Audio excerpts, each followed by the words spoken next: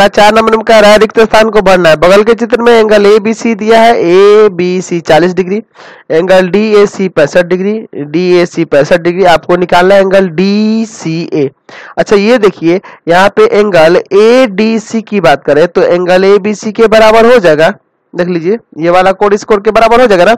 है ना? क्यों? क्योंकि ये एक ही एक ही वृत्त खंड के कोण है। वृत्त खंड के कोण है, इसलिए ये बराबर हो जाएँगे। होंगे ना? देख लीजिए, चालीस है तो ये भी चालीस, यानी कि एंगल ए डी सी बराबर चालीस डिग्री। अच्छा अब रही बात, अब इस त्रिभुज में आ जाइए। त्रिभुज ए डी सी में।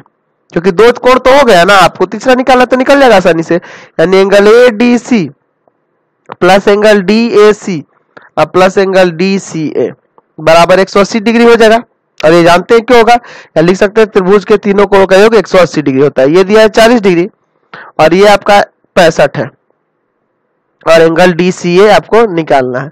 तो इन दोनों को जोड़ दीजिए तो हो जाएगा 105 और उधर ले जाए घटा देंगे। तो डी सी ए आ जाएगा तो यहाँ से डी सी ए ये जाके घटेगा तो पचहत्तर आ जाएगा ना। तो एंगल डी सी ए बराबर में पचहत्तर डिग्री। समझ गए? चलते अगले क्वेश्चन पे।